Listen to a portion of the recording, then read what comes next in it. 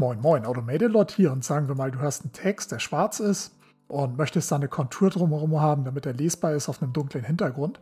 Also gehst du erstmal in unser Google Doc, was wir da unten in der Beschreibung verlinkt haben, kopierst dir diesen Style raus, erstellst den Unbounce dein neues Style Sheet, das nennen wir mal Kontur, fügst das da ein und weil wir ja einen schwarzen Hintergrund haben, möchten wir eine weiße Kontur.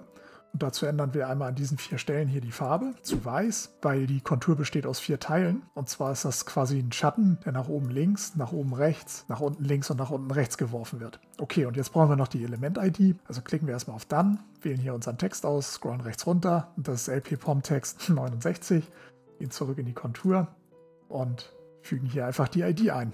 Und wenn wir jetzt abspeichern und in die Vorschau gehen, siehst du, hat unser Text hier eine Kontur. Und das Gute ist, wenn du das so machst, ist das auch kompatibel mit Internet Explorer und Firefox. Brauchst du da keine Sorgen machen. Alles klar, vielen Dank fürs Zuschauen und bis zum nächsten Mal.